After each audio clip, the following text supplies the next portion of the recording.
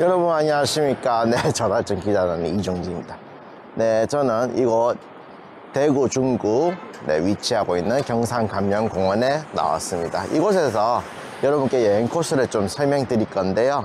간단하게 소개해 드릴게요. 가시죠. 네 경산감령공원은 옛날에 이 위치가 경산감령이 아, 있었던 자리입니다. 그러니까 경북도지사라고 할 정도로 병권과 권력을 행사하는 그런 곳인데요. 여기 잠깐 살펴보면 어, 관찰사 지방 통치를 맡게 했는데요. 조선 후기에 경상도를 다스리는 지방관청입니다. 옛날에는 조선 전기에는 임진왜라가 일- 일어나기 전에는 상주에 있죠. 네, 상주가 옛날에는 경상도의 중심지였습니다. 그 후반기에는 이제 대구가 경상감령으로 이동하면서 중심지로 역할을 하였고요. 아, 옛날 조선 후기 가나의 격식과 구성을 잘 보여주고 있습니다. 일반 공원이기 때문에 어르신들도 많이 오고요. 또 행사가 중구, 대구 중구에 있는 행사가 많이 이루어지는 곳입니다. 어, 여기 보니까 또 하마비가 있네요. 하마비. 이 비는 경상감령이 정문이 간풍로 앞에 있던 것이옵니다. 현 위치가 아니고요. 그래서 병마절도사 이하는 말에서 내려 출입하라는 표석입니다. 병마절도사란 도의 병건을 맡은 책임자로 대개 종 2품간인 관찰사가 견임하였죠. 그래서 이곳이 관찰사가 있기 때문에 관찰사 밑에 있는 사람은 말에서 내려서 올 수 있는 그런 뜻입니다. 네, 선화당입니다. 선화당. 네. 이것은 유형, 대구 유형문화재 제1호로 네, 아주 유명하죠. 하, 이곳에서 가나 건축이 네, 업무 보는 그런 곳입니다. 추구대는 말 그대로 우리가 아는 장영실이 이제 개발했다는 그 추구기 그거랑 같습니다. 이게 국보 제 330호고요. 당연히 이것은 모조죠, 모조.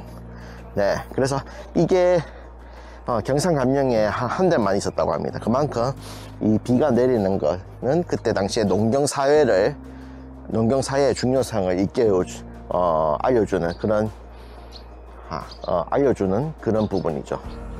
여기 있는 관찰사가 어, 이제 생활하는 그런 곳이죠. 관찰사의 처소로 어, 선조 34년에 1601년에 세워졌고요. 여러 가지 붙었습니다. 그래서 다시 순조 7년에 짓고 1970년 조정 때 중수하였다고 합니다. 그 옛날 건물들 제가 한번 살펴보니까 전국에 있는 부분을 보니까 불탄 게 많아요, 상당히. 왜냐하면 현대식이 아닌 이제 목조 건물이죠. 목조 건물은 이제 불에 잘 타기 좋으니까 그런 훼손되는 부분이 많은데 네, 이제 오, 오늘날 이렇게 어, 중수하였는 그런 부분을 볼 수 있습니다. 이게 또 특정한 날에는 안에 습기 이런 거 조절하기 위해서 문을 열어요. 예, 한번 그때 와서 보면 경치가 상당히 예쁩니다. 이곳에서는 행사했을 때 이렇게 종을 치거든요. 땡땡 하면서 이제 치기도 하는데요. 어, 이런 부분이 우리나라에게 좀 강령을 기여하는 그런 종입니다. 지역 주민뿐만 아니라 또 이곳에 대구에 찾는 관광객들에게도 휴식을 또 제공하는 그런 공간입니다. 이 주변에는 카페도 상당히 많고요. 또 북송로, 또 남성로, 동성로, 서성로 가기 딱 좋습니다. 중심지니까요. 이곳에 오셔가지고 한번 공연도 살펴보시고 또 역사의 한 부분을 어, 사진 촬영과 함께 더불어서 여행하는 것도 좋을 것 같아요. 조달청에 있는 나라장터 여행 코스 오늘은 대구의 중구 경상감령에 대해서 한번 소개해드렸습니다. 다음번에도 네, 조달청의 소식 여러분께 알려드릴게요. 다음에 만나요. 안녕.